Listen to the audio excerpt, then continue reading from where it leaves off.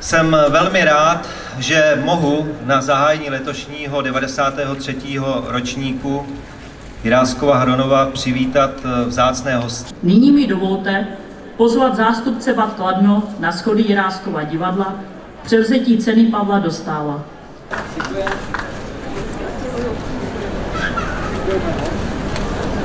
Tímto považuji 93. ročník Jiráskova Hronova za zahájený.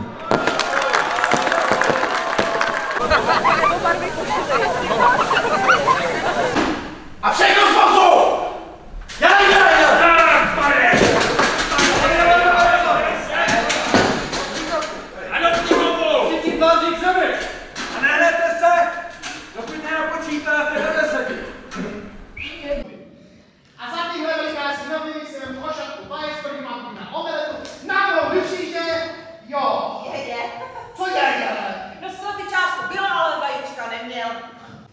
mám strach, co řeknu, až se mě někdo zeptá, jak jsem přišla k těm penězům a čí vy.